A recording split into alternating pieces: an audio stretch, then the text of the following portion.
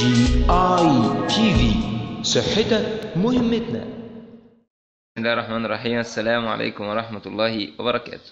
بكل بساطة ما نيجي نعرف السمنة نقول هي زيادة في وزن الجسم عن الحد الطبيعي نتيجة تراكم الدهون فيه.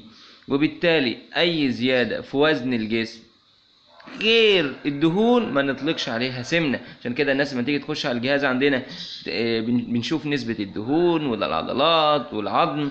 والمية. وبناء على كده نبدأ نقرر هل الزيادة ديت هل زيادة في المية هل زيادة في العضلات هل زيادة في العظم هل زيادة في الدهون؟ لو زيادة في الدهون نبدأ بقى إن إحنا نطلق عليها سمنة وندخل لها مقاييس.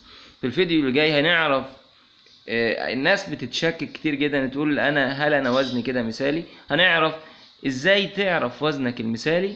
بشكل بسيط جدا. لو الفيديو حسيت إن فيه إفادة اضغط لايك وشارك الفيديو على قد ما تقدر.